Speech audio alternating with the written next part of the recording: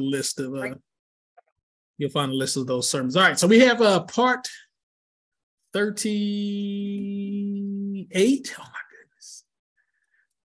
Part 38 of uh our study on the book of Revelation, and again, just understanding apocalyptic literature. Uh we are definitely going to uh go on to chapter 14 today. How much of it we actually read today? If we can get through the first five verses, then I will consider that an accomplishment. But uh uh, but I want us to remember our very important discussion that we've been having the last two, three weeks uh, regarding our recognition of uh, um, of the Antichrist, understanding the flip that your way so you can see it a little bit. There you go. Uh, our understanding of the Antichrist, and and in that our our goal in this study has not been to figure out who is the antichrist or what is or who who is the antichrist whether it is past present future none of that. That's really not the aim of what john is trying to do in the book of uh, revelation. What is more important not only in revelation but also as we looked at some of the other passages where it talks about the lawless one and the antichrist and even jesus himself said it in matthew chapter 24 that the spirit has already gone out into the world that they're already antichrist out there now, and that we have to be able to recognize the difference between the two. Now, as we get into chapter 14, we will see some of the same repeated imagery that we've come across in earlier portions of the book of Revelation. Um, um, you know, again, we should be familiar with these things in our, you know, previous studies.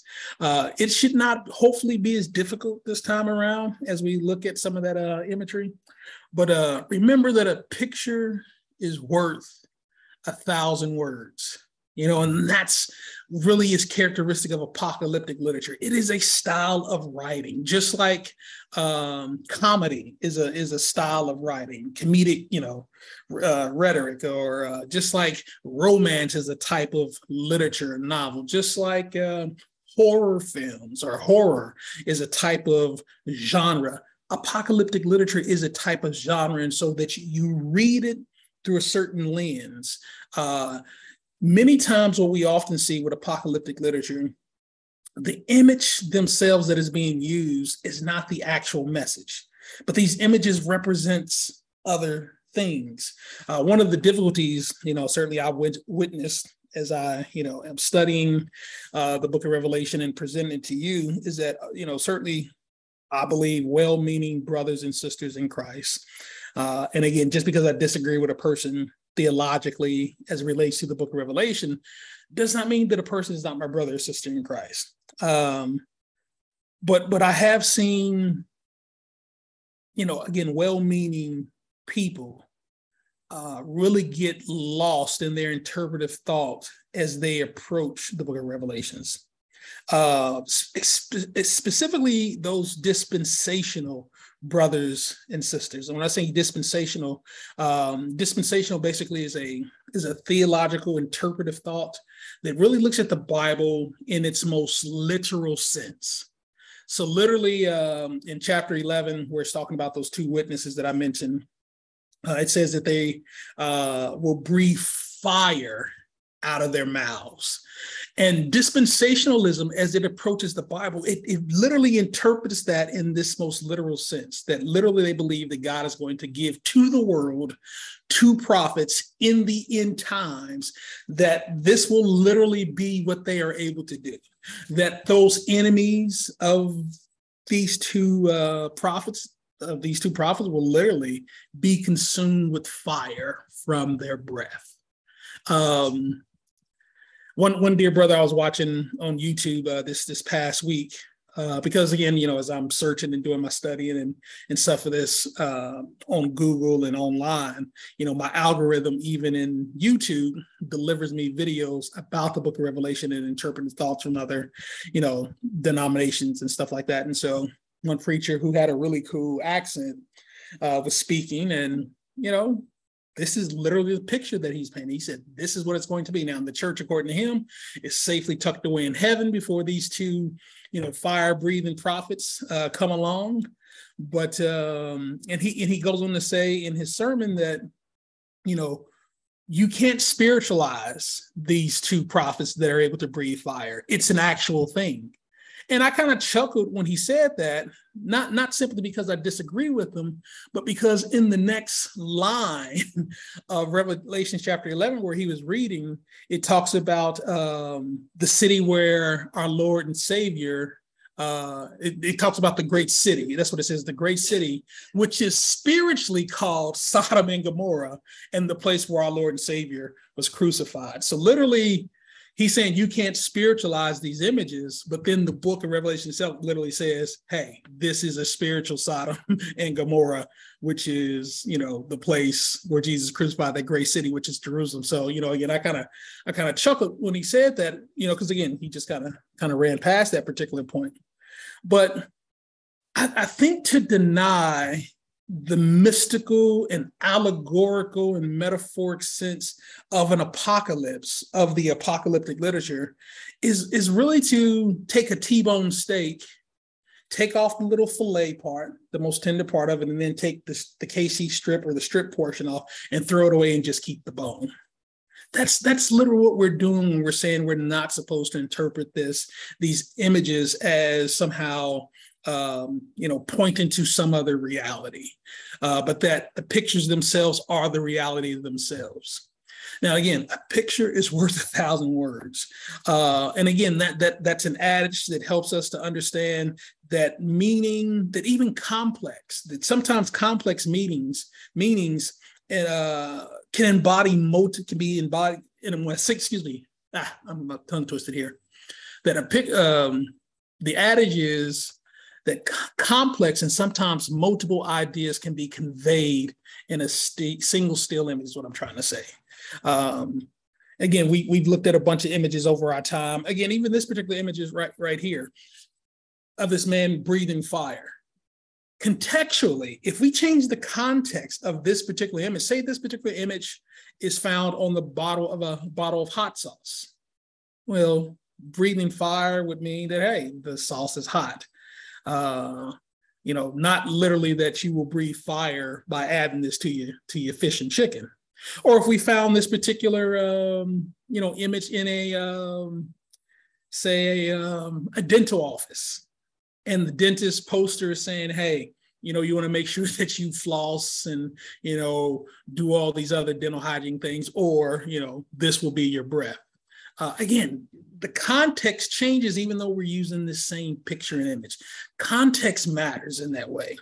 Um, if this was a, you know, on a placard for a rap battle, you know, well, that would mean this person here is spitting hot fire, meaning that they can rap, they have bars, you know. Hey, I mean, but again, this is how we have to approach the Bible. It's just simply taking this the Bible it, at its most literalistic level. It's not always going to yield the best interpretation or what that author was trying to convey to his particular audience. Now, John is about to revisit. I say all that to say that John is about to revisit some of the images that we have seen earlier on, actually a few different times earlier on in the book of uh, Revelation, uh, and, and and a lot of it has to do with the church.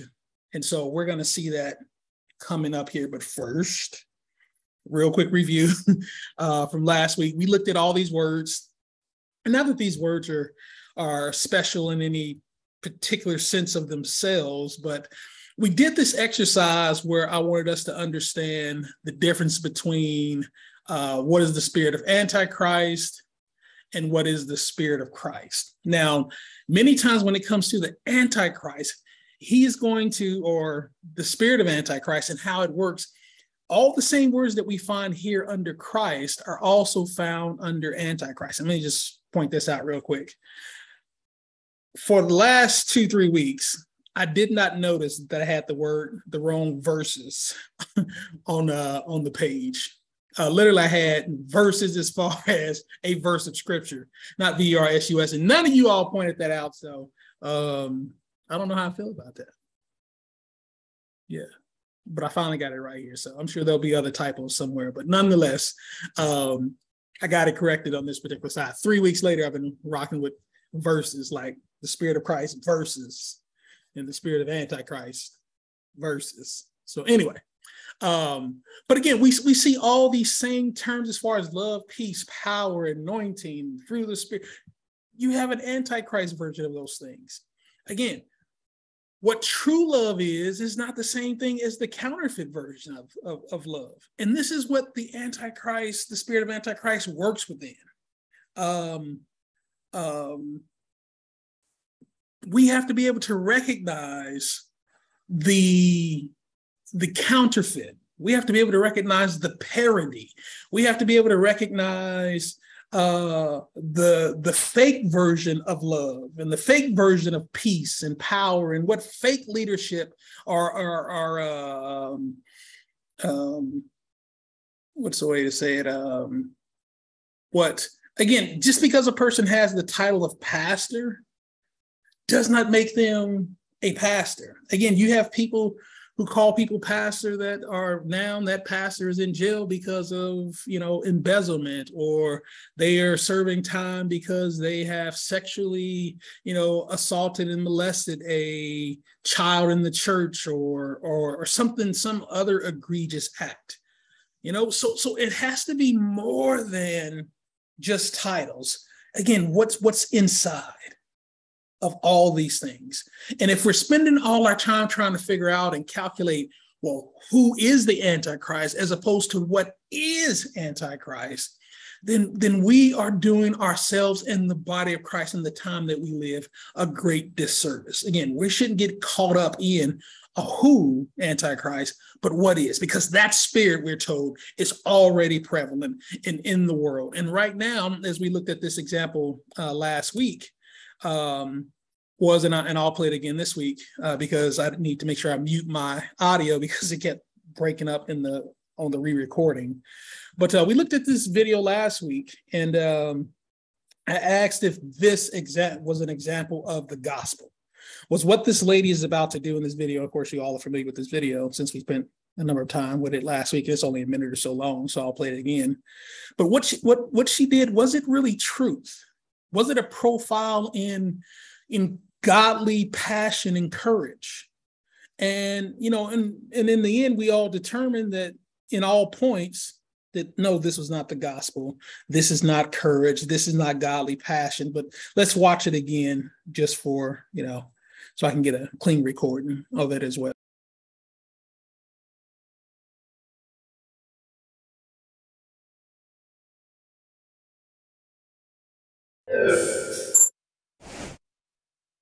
Celebrates the 7th Texas Muslim Capitol Day.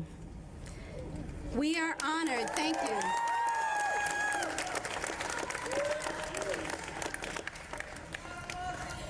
I proclaim the name of the Lord Jesus Christ over the capital of Texas.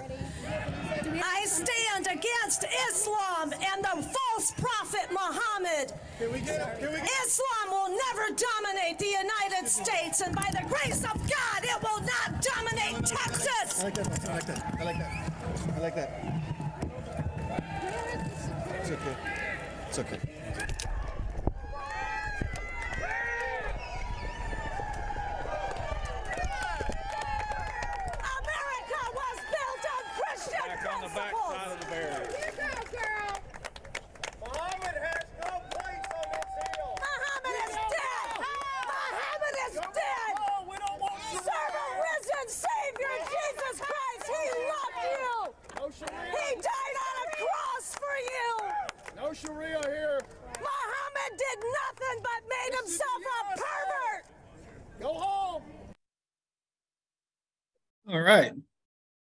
So that was the video we looked at last week, and of course, you know, the exclamation at the to the people there from I guess from one of the supporters of uh, Miss uh, Christine Weick, uh, go home, you know. Um, again, and, and let me just reinforce this.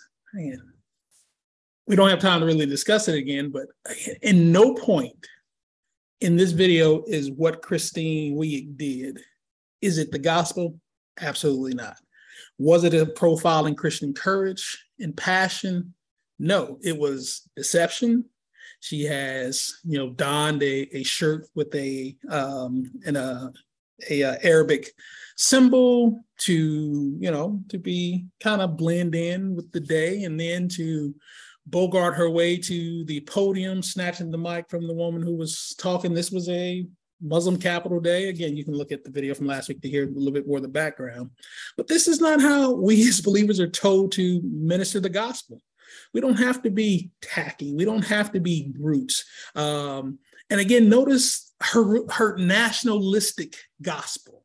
It was about the Islam not dominating Texas, the state of Texas, and uh, this uh, nationalistic gospel of the United States. Uh, and it just happened to have the name of Jesus on top of it. So this was, you know, as we looked at some of those words from last uh, week, this this had to do with deception. It was a lot of, uh, you know, nationalistic propaganda in it.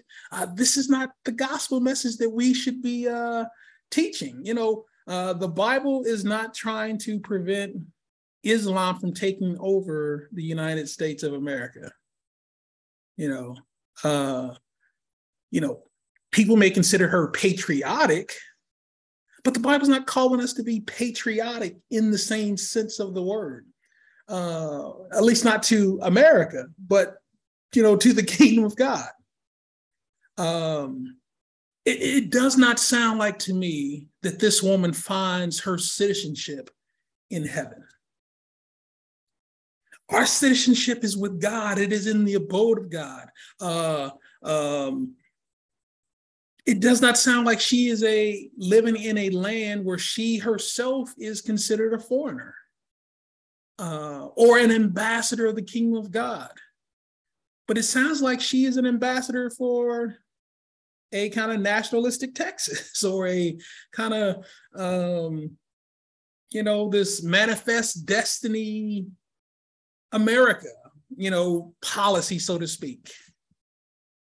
How does her attitude remotely, uh, even remotely resemble the gospel, other than the fact that she says, in the name of the Lord Jesus?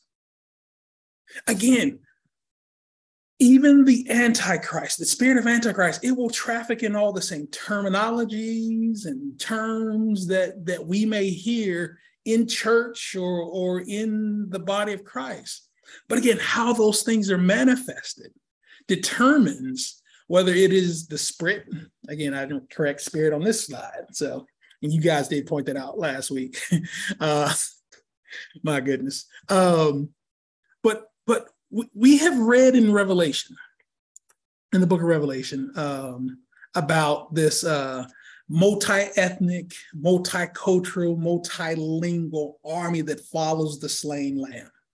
How can we hold an amor parte, and amor parte basically just means love of country, uh, to where we see other cultures as and other peoples as threats to our way of life versus you know our desire and the mandate to go out into all the world and teach the gospel to all nations, baptizing them in the name of the Father, Son, and Holy Spirit. And Lord, I am with you always until the end. How, how does this amor parte that Christine Weick has, how does it you think it affects her her evangelism? what she did on the stage, she thinks that's evangelism. But who is that going to win? Who was that? Who applauded that but other nationalistic people that agree with her already?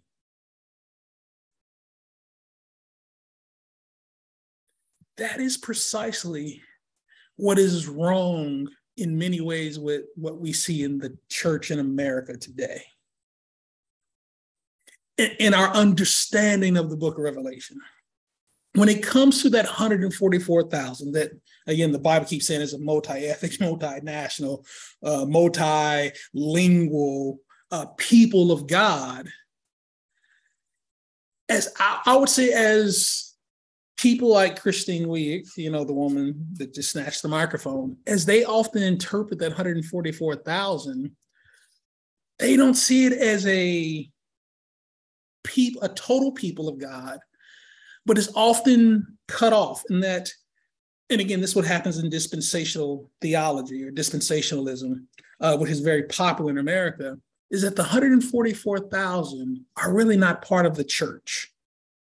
Because in their in our that understand in their understanding, the church at this point is already gone and safely tucked away in heaven. It has the church has been raptured. And so this 144,000 are those who are left behind.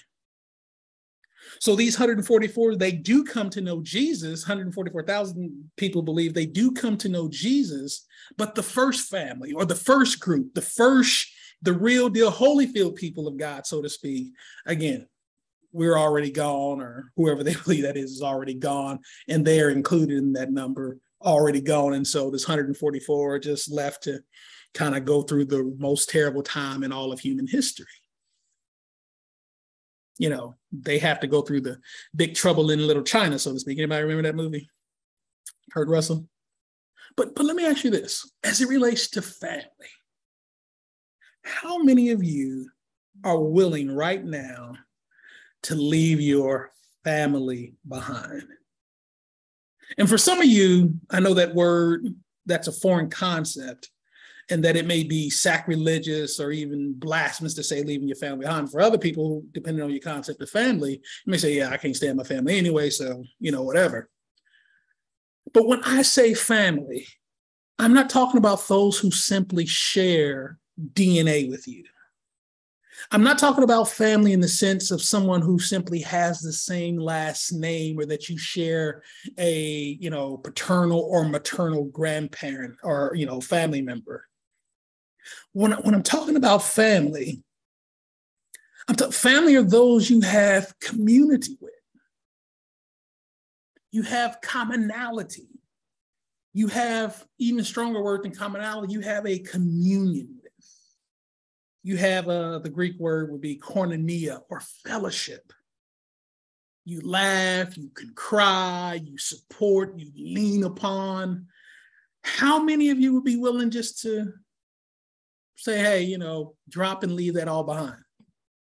My wife and I, uh, this last week, uh, as we were, um, you know, looking at the uh, lottery going up to 1.7 billion or 1.23 billion, whatever it is, over a billion dollars of the lottery. You know, we we were literally discussing as we would, you know, be in the car, just sitting around the house watching TV or a commercial come on.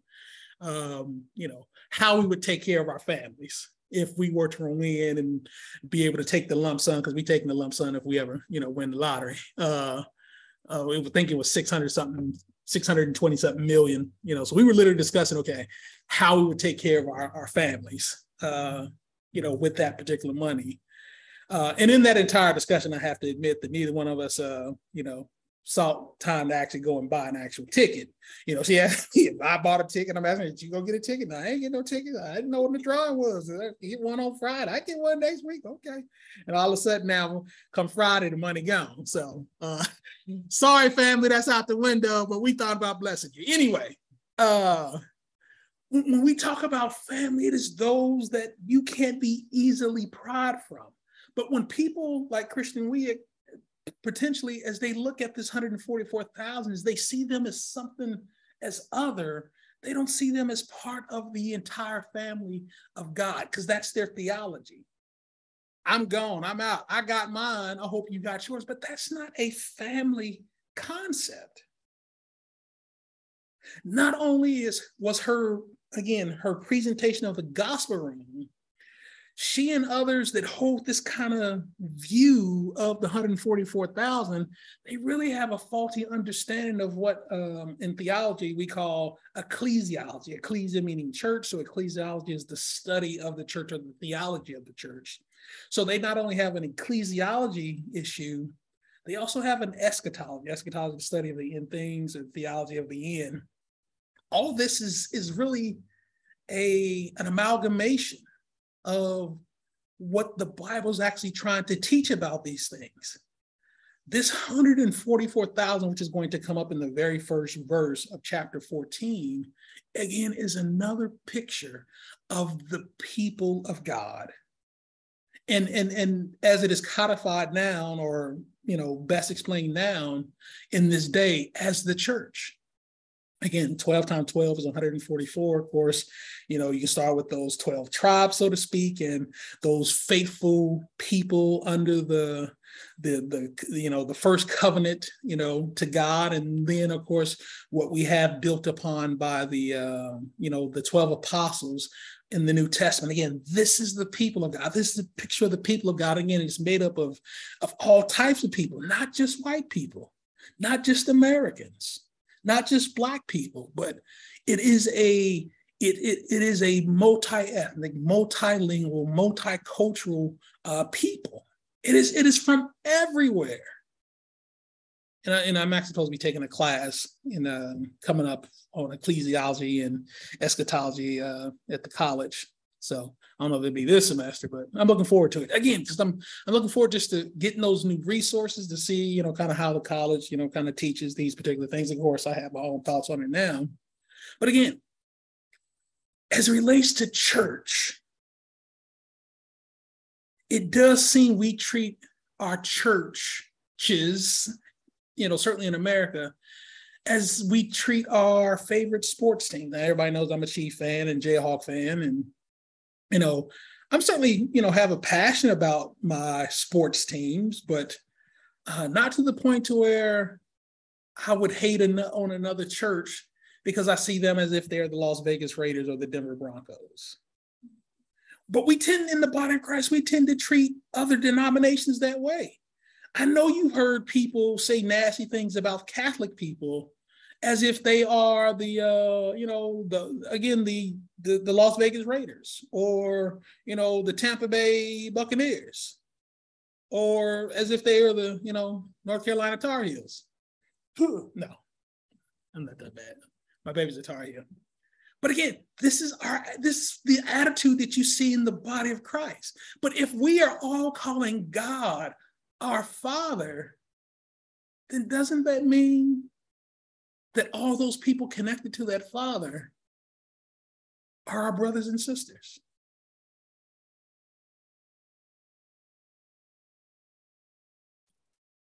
That Muslim capitol day, that was a day and an, and, and an opportunity to preach and share the gospel of Jesus Christ, not storm the stage, snatch a mic from a woman, and embarrass, you know, in in in in, in rough house, and then spew all this nationalistic foolishness that that is rooted in myths.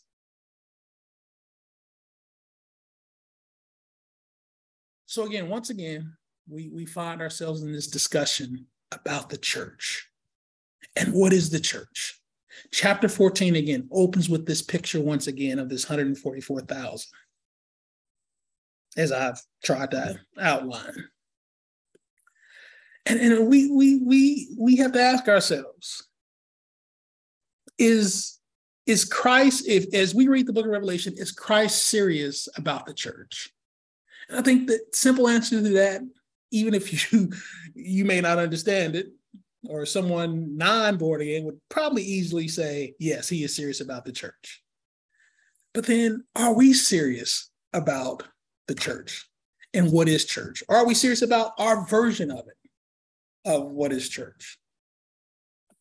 One of those questions that um, Arsenio Hall used to say, questions that make you go, hmm. I came across a book um, this uh, past week uh, that literally has this as the title. Uh, it says, title here, as you see it here, says, What if Jesus was serious about the church? And it's by author uh, and pastor by the name of Skye Jethani.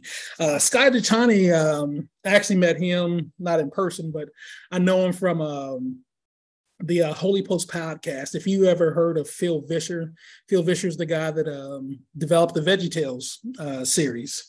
Uh, he is the creator of this particular uh, podcast, and Scott Jethani is the co-host on the uh, show itself. And of course, as I mentioned, this is his latest book. And so I've only read the first part of the first chapter, but it's a really, um, you know, intriguing book. But in this book, he asks the question, you know, how do you define church?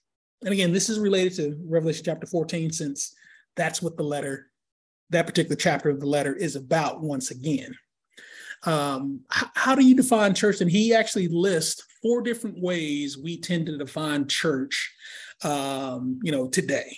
Uh, one, most people or people define church as as a building. uh, in the sense of, hey, um, you know, the actual structure. Um, you know, now as of right now, we don't have a church building where we meet regularly. We do have a building though. It's an office. you know, we have to keep that um, for the tax code stuff. Uh, and secondly, um, it's defined as an event. Again, did you go to church on Sunday or did you go to church on Wednesday or did you go to the revival, you know, the church, you know, revival, da da da. So, so in that sense, we use it in that way modernly as well. And C, or a third way, uh, we we tend to use the word church is speaking of an institution with its leaders and budgets, and again the 501c3 IRS tax code sense of the word. And then finally, a fourth way that the word church is used today is used to identify a community, he goes on to say, of men and women and children redeemed by Christ living in the unity, uh, living in unity with one another. Now, which is the right definition of church? Which is the best way we should use the word church here? You know, uh, how, how, how would the world in general define church? You know, if I had to guess, the world would probably say more so building and organization. Of course, you hear a lot of, um, you know, certainly as the the religious right, so to speak, or conservative Christians, as it relates politically, evangelical voting bloc tends to align themselves uh, with the Republican Party. It seems as if the world generally says, "Hey, see the church as an organization. Hey, take away their 501c3 and you know tax the church and so on and so forth like that." Um, but but biblically, how does the Bible define church? Well, certainly as far as A is considered, uh, you know, a building as a church, the Bible not even one time ever refers to a physical structure as the church. In the early church, first century, second century, um, even up to the third century, we don't see buildings dedicated simply to meeting spaces for church activity. People tended to meet in homes and you know in other places in open areas. And uh, the wife has visited some small home churches in uh, Cappadocia when she was in Turkey. before we met. I guess we were crisscrossing in the air. We think. Um, but yeah, the Bible never defines church as a building, not even once. Uh, certainly, you know, uh, the Bible never defines church as an event as far as a specific day that you actually go and meet that hey you know hey did you go to church? You know and certainly there is uh, a the verse i want to say it's in hebrew somewhere about you know forsake not the assembling of yourselves and you see the day approaching again. That's some stuff that's it that is part of a verse that's kind of taken out of context. Again you know the more important thing about the assembling of yourselves was the provoking one another to love and to good works. So, regardless of what day you do that, you know, that's something we should do all the time provoke one another. And not, it was not used as a specific day set apart.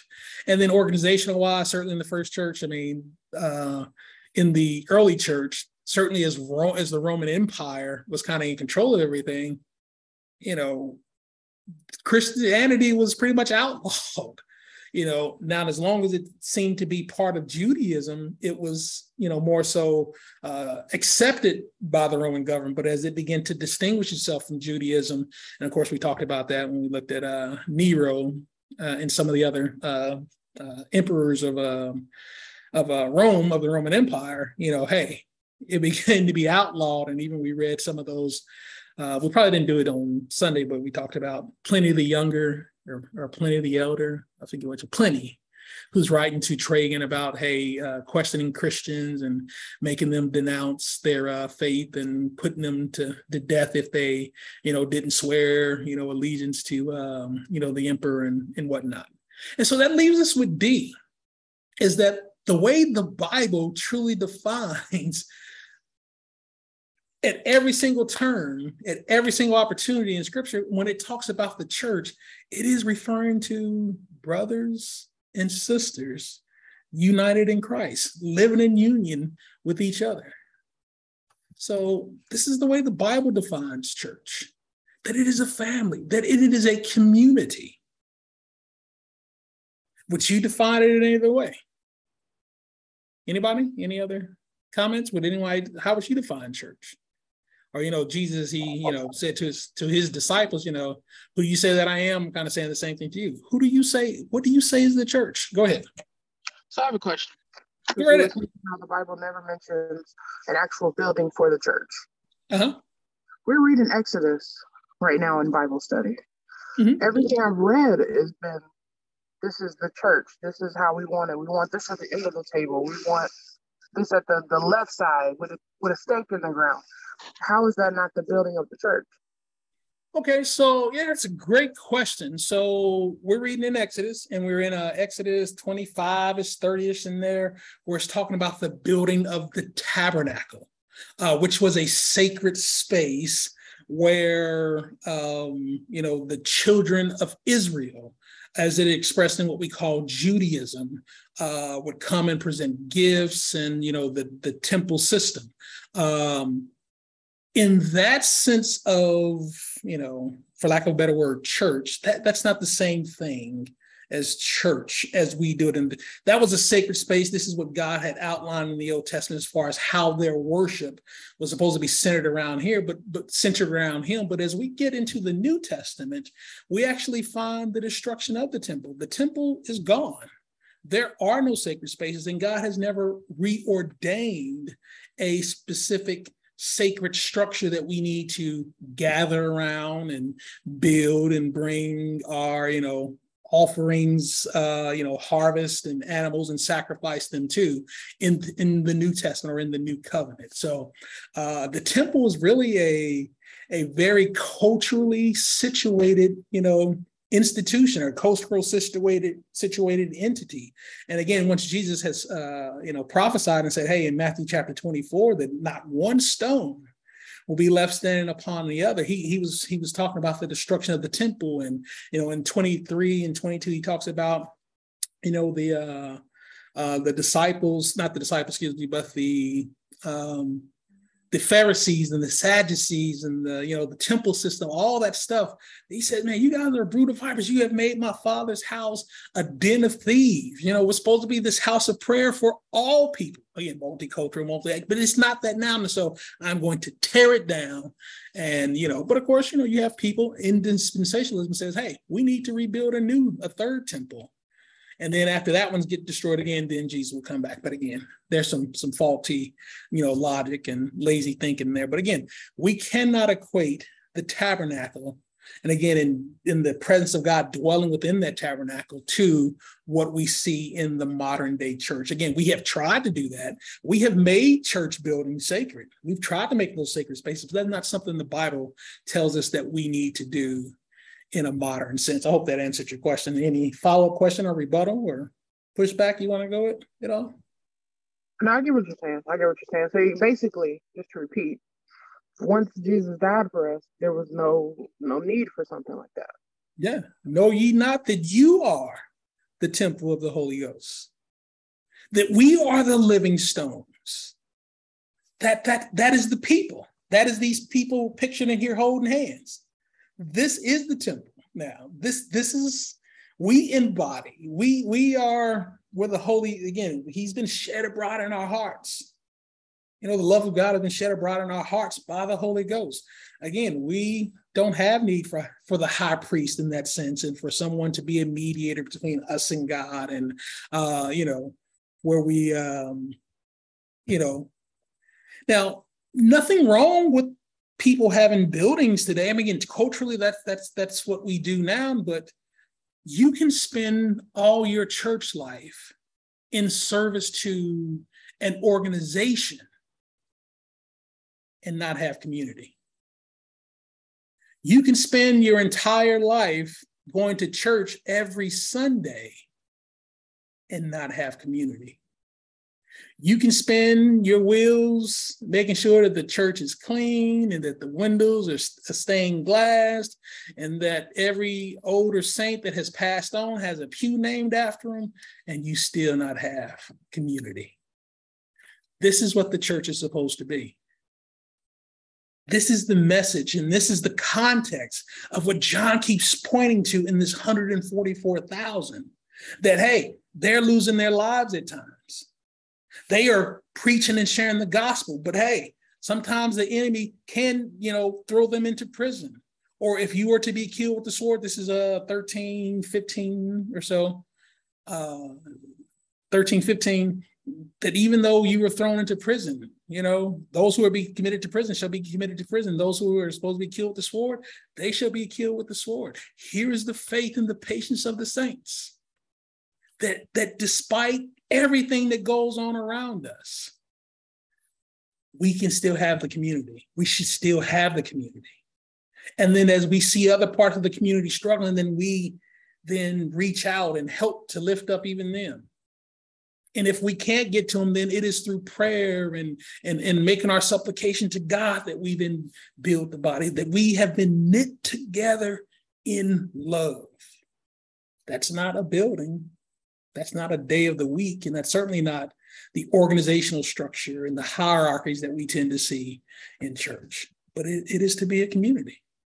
And again, how we see church really determines how we read the book of Revelation. If we read that 144,000 again as someone other than us who God simply left behind and hopefully they get it, oh well, that's not community.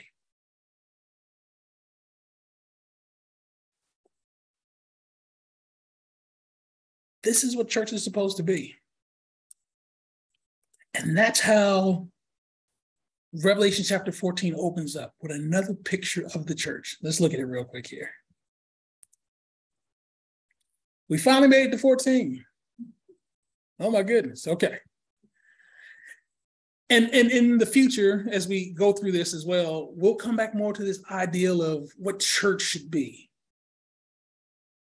and, and what this community should be. And again, nothing wrong with a, a church building, nothing wrong with someone being called pastor or an evangelist or sister or missionary or Sunday school or any of those things. A lot of those things, we're going to find out that with church, the Bible does list out some things that absolutely should be. But then there's a lot of room for how that particular thing is administered.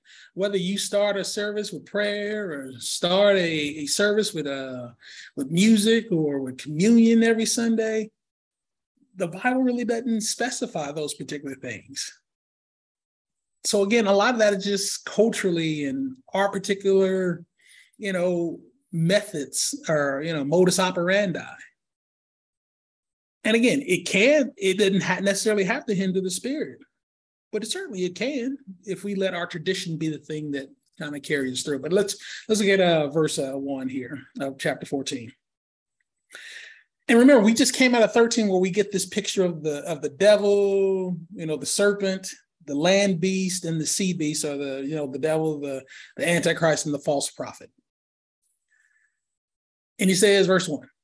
And so now, so now we're going to get a different picture here, which I think is great. And he says, and I looked so John had, you know, kind of been seeing this land, this this beast coming out of the sea, and this dragon with seven heads, and this this big behemoth like thing, and it's you know he's kind of on the you know seeing this ground level. And all of a sudden, he's flung back to it says Mount Zion. It says, and and I looked, or just kind of like uh, it reads in the book of Daniel, Hane or behold, uh, and lo, a lamb on the mount of Zion or Zion and with him a hundred and forty-four thousand, having his father's name written in their foreheads.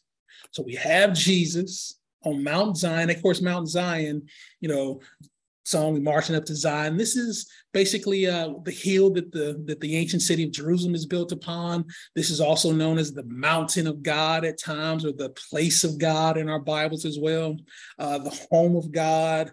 Uh, and of course, he's joined with this 144,000, which we've seen three or four other times in the uh, text leading up to this point. I think this is, this is maybe the third or fourth. I can't remember exactly. I have to go back and count them for next week. Uh, but they have this having his father's name written in their foreheads. We talked a lot about the mark of the beast uh, in the previous weeks, and we also talked about the 144,000 being marked. Again, this is a picture I think that's also in the book of uh, Zechariah as well. It's uh, or is it Ezekiel? Anyway, we talked about in Exodus about the phylactery, the thing that shows devotion. So again, this 144,000, they have the Father's name written in their foreheads. They, this is a family. And of course, as I've been arguing, this is a picture of the people of God, a symbolic number of the people of God, not just the 144,000 that got saved during the tribulation. Um, and it says that look what they're doing. They uh, they stood, and though a lamb stood on the mount of, of, of Zion and with him. So this this 144,000 or this this again, when we first see this number, 144,000, it said that John says he hears these 12 tribes, a thousand, 12,000 from each of these 12 tribes being called. But when he turns and looks and sees, excuse me, when he turns and looks and sees, he says this army was so vast that he could not count it. No one could count it. It was so many people. It was made up again of every tribe, tongue, and nation. And here they are standing. And this word stood here, as I looked it up in the Greek, it literally is, is kind of stood almost, it seems, in a militaristic stance. That this is that army that we've read before. And they are standing with uh, the Lamb of God. Verse 2. And I heard a voice, excuse me, from heaven as the voice of many waters and the voice of a great thunder and I heard the voice of harpers harping with their harps. And so he hears this loud cacophony of noises, and you know, it sounds like rushing water. It sounds like you know a great thunder cracking, rumbling, so to speak. And he hears harpers stringing and stuff like that. Um, now I remember at the beginning of a uh, concert when I played when I played uh, cello in uh, middle school and high school. Of course, we would have this warm up, and of course, everyone is you know tuning their instruments, and you kind of hear this this giant cacophony of sound, and you really can't make out anything. Maybe someone is running down a scale, and maybe someone over here is playing, uh, you know, uh, something by Jodeci on their clarinet or something like that. But it's just all this sound kind of just bustling together. And then verse three it says, and they sung as it were a new song before the throne. And so he hears even people beginning to sing as well. You got all this noise, and but you can make out someone is singing as well. Possibly it seemed like, like the rehearsal, he goes on to say they're singing before a new song before the throne and before the four beasts. We talked about the four beasts uh, going around the throne and the elders, the 24 elders and no man could learn the song but the 144,000 which were redeemed from the earth. So you have all this noise, you have these harps and instruments playing, and you have these people kind of stirring and beginning to sing, and uh, you have this, but but and no one could really make out or learn the song except this this redeemed people from the earth, which is again the 144,000. This is why I say this is the people of God. This is what we, aka now, call the church. Now we're actually going to see in the next chapter where there's actually a song being sung that we can actually make out with words and stuff like that. Verse four. These these people that could hear this 144,000 these are they which were not defiled with women, for they are virgins. These are they which follow the Lamb wherever he goes. These were redeemed from among men, being the first fruits unto God and to the Lamb. And in their mouth was found no guile, for they are without fault before the throne of God. All right. So I've been arguing this 144,000 represents the people of God, really what we, you know, know as the church. Uh, and again, I'm not one that teaches that you know the church is snatched out and taken to heaven in some type of rap, secret rapture event. Because again, that's not something we've come across in the Book of Revelations. That's something that people tend to read into the text. But it, but the 144,000, the church is always in the world as long as until Jesus says, hey, it's time. The church is here. supposedly working and and and, and calling people to repentance and, and preaching the gospel. But he goes on to say here um, that these these particular 144,000, these are they which are not defiled with women, for they are virgins. Now and again, in in a dispensational sense, they will try to read this the most literalistic way they can. That hey, if you are not a virgin, then this is not you. This is why they don't see this as the church, and another reason why, because well, you know, church people, you know, there's maybe some virgins in there, but you know, the rest of us are heathens, have been heathens or something to that, you know what I mean? And we we may have gotten forgiven, but nonetheless, we are certainly not virgins. But but we have to understand here, this is we're talking about an army of God here, this 144,000. And so in the Old Testament, within the Old Testament, when it talks about not being defiled with women and that these people are, are clean, we're talking about in a very uh, ritualistic clean. And before you went to battle, you literally had to uh, abstain from sexual intercourse with women. Remember, if you uh, recall in the book of uh, Deuteronomy, I'll, I'll, give you this particular verse here Deuteronomy 23 9 through 10. It literally says that when the host goeth forth against thine enemy, so when it's time to go to war, then keep thee every from every wicked thing. So if they wanted you to be ritually clean. So remember the sin of Achan uh, in the book of uh, Joshua? When they during the conquest, he actually steals, and of course, because he was ritually unclean, because he had taken the, the unclean thing and hid it, Israel ended up losing the next battle at Ai. That same ideal is here in the book of Deuteronomy. That when the host goeth against thine enemies, keep thee from every wicked thing. If there be among you any man that is not clean by reason of uncleanness, that uh, uh, chancing it uh, by him by night, then shall he go abroad out of the camp. He shall not come within the camp. So literally, if you are not ritually clean, then hey, we need you to go away because you are going to cause us, you're going to defile the entire community, and that that could be disastrous for us in war. So that's what's going on here. And also, you can read the same thing in uh, 1 Samuel 21, uh, 21 and 5. This is the example of when David literally goes with his men before he is king. He's running from Saul and they are hungry. And he literally goes to the temple and he asks for the, the, the, the showbread. And what did the priest say to him? Hey, have you guys kept yourselves from your wives? And they're like, yeah. And so then the priests are then able to feed them the uh, showbread that would have been eaten by the priest within the tabernacle or within the, the temple itself. Where um, there was no temple at the time within the tabernacle.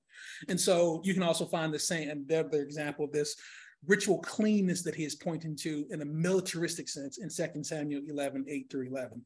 So, so this is what's being pointed here, not that people are literally have been virgins all their their lives, and that that's the only way you can be in this 144,000. But again, remember I keep saying that the best way to understand our 66 book of the Bible is to have a good understanding of the previous 65 books. So that that's what's going on here. He says, "So these which are not defiled women, for they are virgins, for they, for these are they which follow the Lamb wheresoever he go." Isn't that what the church is supposed to do? That when he moves, we move, just like that. These were redeemed. Uh, uh, as ludicrous as that Jesus. I'm gonna say it's Jesus. Anyway, these are the redeemed from among men. Anybody been redeemed? Right. Let the redeemed of the Lord say so, baby. That's right. I got a piece of hair in my mouth. I'm redeemed. I'm redeemed, yes. And we know who we were. We know what we were. We know our shortcomings. We know the testament. We know how far in darkness we were. Uh, some of us that they said they had to pump in daylight. We know that about ourselves. And he says that these are being the first fruits unto God in the land. When we look in the Old Testament at the um, first fruits, um, and I have this in my notes as far as the scriptural reference to it. Um, but I'll just say this and then wrap up. But when we look at the first fruits,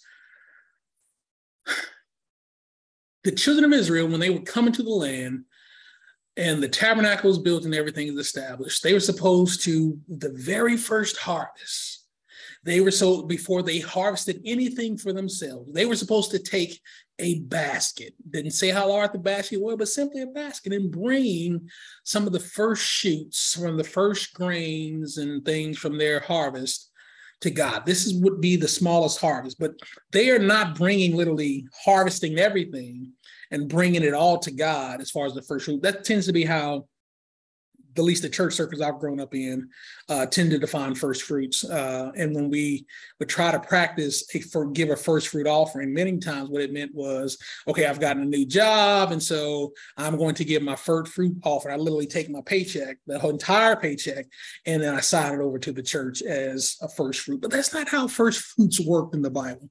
The first fruit was just a portion of it was the first portion of the harvest. But again, it said literally you put it in a basket. You can't get, again, the Bible doesn't specify how big the basket was, but again, it was supposed to be representative of Lord, because you have blessed us and you will continue to bless us.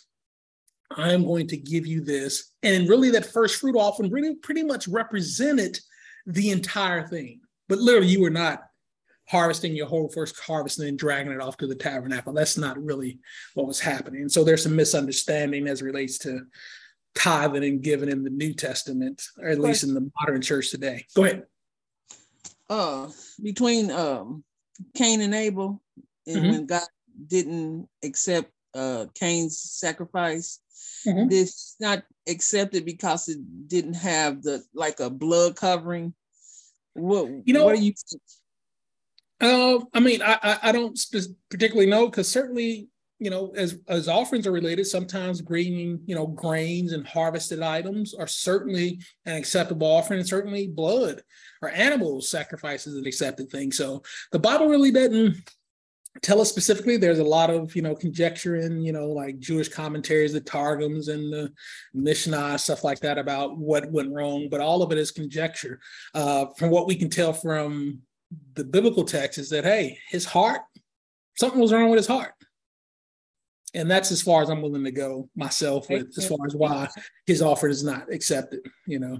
And not necessarily the particular items that he that he he brought over there. Now, maybe if I come across some other information, my I, my thought will change on it, but that's where I kind of stand right now. But anyway, this this this first fruits, you know, he says that, that these were redeemed from among men, these being first fruits unto God and to the Lamb. This is really a sense of, you know, the entirety of the whole, just like it would be in the first fruit offering. Even though it's not everybody for all time, again, as long as the earth remains, as long as it keeps spinning, as long as Christ has not returned, then you know we we are all part of this kind of first fruit. The people of god is kind of embodied in this first fruit. And so um and again it goes on to say talks again their purity here. And in their mouth was found no god for they are without fault before the throne of god. Now what we're going to get next and we'll, we'll get into this next week as i wrap up here is that we're going to get these three pronouncement by angelic um herald so to speak and these, these, these, the very first one that's going to be found in verse six, again, it's going to be another message about the church and about the preaching of the word of God. And again, that's something that has been given to us as the people of God to do and not to any other entity. That is our job.